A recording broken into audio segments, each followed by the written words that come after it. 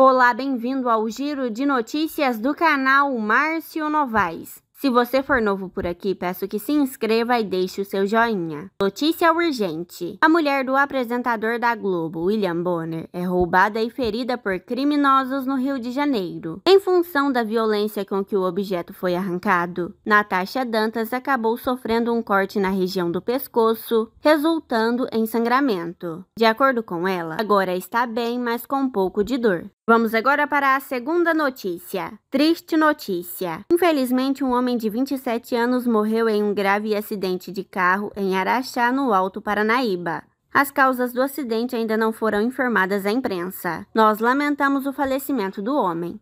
Vamos para a terceira e última notícia. Notícia urgente. A Ucrânia agradece esforços do presidente do Brasil, Lula, e diz que não cederá um centímetro de terra à Rússia. De acordo com Lula, que disse que talvez nem se discuta a Crimeia, uma das áreas invadidas pela Rússia. A Ucrânia já disse também que não aceitará a paz a qualquer custo. E você, o que acha sobre este assunto? Deixe aqui nos comentários, a sua opinião é muito importante para o canal. Obrigado a todos, fiquem com Deus e até o próximo vídeo do canal Márcio Novaes.